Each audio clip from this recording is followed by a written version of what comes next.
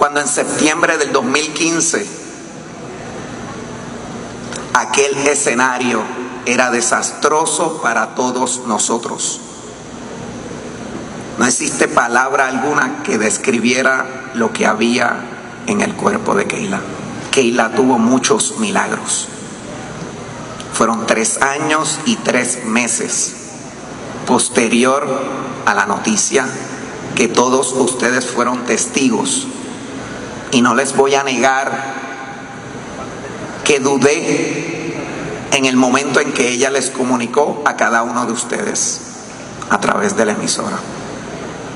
Y le dije, Keila, yo creo que nos estamos precipitando. Todavía no tenemos la confirmación certera de que ese es el diagnóstico.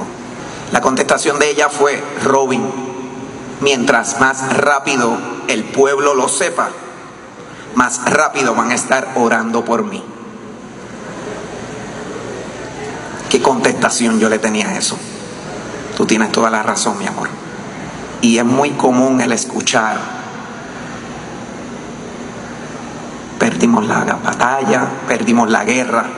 Keila no perdió. Keila ganó. Keila unió a un pueblo en oración en los momentos difíciles de Puerto Rico. Y cada oración pellizcaba a Dios allá arriba. Le estoy pidiendo por Keila. Y Él nos concedió tiempo donde logramos muchas cosas en su vida personal, nosotros como familia, ustedes como Puerto Rico.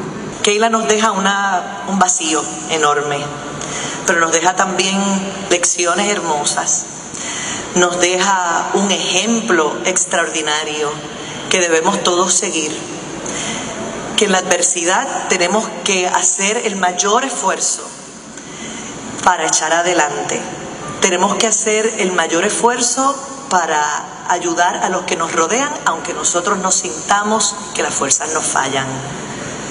Que el que está al lado necesita de nosotros también. Y que si podemos hacer, poner un granito de arena, ponerlo, como lo hizo con tantas organizaciones sin fines de lucro que le dan las gracias en el día de hoy.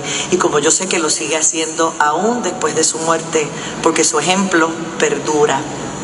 Les agradezco muchísimo las expresiones de cariño a la familia de Keila, Miriam, Robin, Kevin, Gustavo. Los llevo en mi corazón.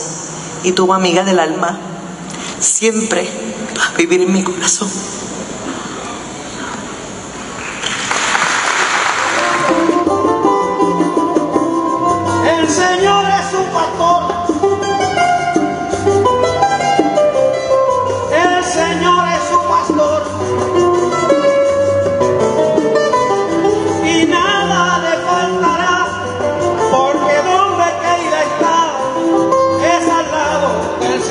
Mensajes importantes de mi esposa.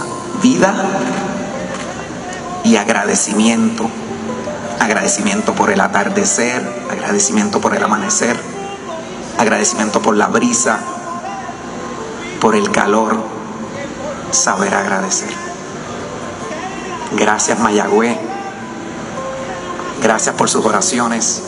Gracias Puerto Rico. Dios los bendiga. Keila, te amo.